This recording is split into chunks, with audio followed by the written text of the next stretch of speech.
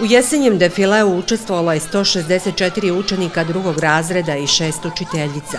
Bili su obučeni u kostime, okićeni opalim lišćem, jesenjim plodovima, povrćem, a prolaznicima su delili papiriće sa ispisanim porukama. Otpevali su pesmu posvećenu jeseni i poručili su ugrađanima da ona ne mora da bude najtužnije godišnje doba.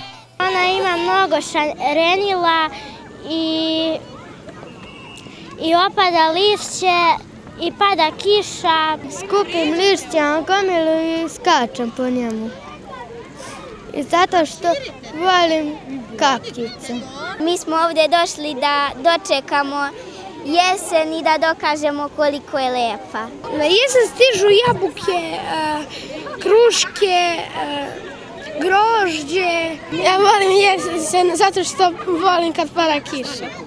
Veselim, šarenim jesenjim karnevalom učiteljice su htele da obraduju svoje učenike i njihove roditelje, ali i sugrađene.